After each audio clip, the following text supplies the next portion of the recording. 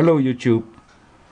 I just installed Windows XP on the Toshiba Satellite. This is a very old laptop with 384 megabytes RAM. I got it from my guitar player and I'm gonna use it to do recordings, live recordings when I'm, you know, doing shows or doing certain things with a band. But uh, I also want to give it some updated looks and I'm also testing this package here. It's called the Windows 10 skin pack for XP. So I just installed it. There was no big deal. Uh, downloading the file was 6 megabytes. It was a 6 uh, megabyte zip file. Unzipped, it came out as an exe. I just uh, copied that to my desktop. So there it is. And I'm gonna reboot the computer now. And as you can see, we had the classic skin uh, by default because this is a Windows XP version that I made light myself I can show it to you I still have it in here let's see what it is you see that this is the CD I made it years ago see that by Puck with SP2. This is only for old computers. And no, I cannot give this out. I cannot send it out because I don't have the copyrights of this. I created it from one of my legal uh, Windows XP CDs that I had with a program called nLite that was created by Din Dino Nuhi. Uh, yeah, a guy that I really admired at that time when I learned how to create a Windows Vista Lite install CD, DVD, well even CD because we could make it so light that it could fit on a CD, 699 megabyte. And there you go peeps.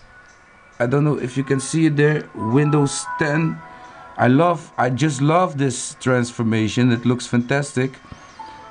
And the sounds, and there you go, the Windows 10 desktop and the Windows 10 uh, icons. The bar of course not the start menu. Don't tell me the start menu is in there. No it's not. But it looks a very very beautiful very nice makeover. And uh, I think every XP user would love to have this little file. So I'm gonna put it in the description. It's a very very small file. It's called Windows 10 skin pack for XP and there are even more skin packs out there for Windows XP I'll put up a link to the site so you can test them all and you know use the one that you really love and like. So I'm gonna leave this just the way it is because this is it feels really light. So I'm not having the idea that I installed all sorts of crazy themes over my Windows XP let me show you the specifications of this laptop. It's a no big deal laptop. It looks fantastic at this moment. It has 1.1 gigahertz with 368 yeah you cannot see. All I can say uh, this is looking very very nice. It's uh, done on a Toshiba satellite with only let me show you the specifications real fast with only um, 1100 uh, yeah it's 1.1 gigahertz uh, with 368 megabyte RAM. So this is like a no big deal um, machine but it runs fantastic. I think I still have to you know add some drivers to this thing. Um, also in settings here uh, I could adjust it for best performance and let's see what's gonna happen if the theme will change a lot. Well it did not change a lot. Only thing that really changed is the start bar and the start menu. So we're gonna let Windows decide we put it back.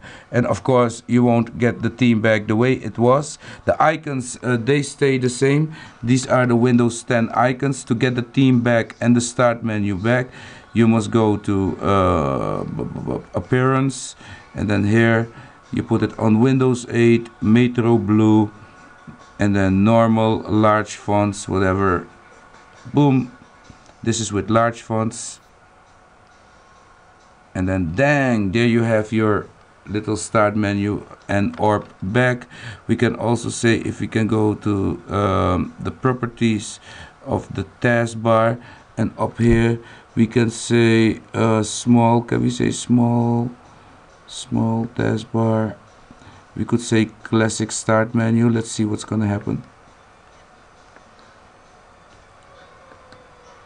ah you see that? Then we just have oh that also looks nice huh? See that? Peeps? This also looks nice. This is a real small uh, start menu. And up here we can say auto hide the bar lock taskbar show quick etc etc well I think it's all good yo. I like it. Um, I cannot say small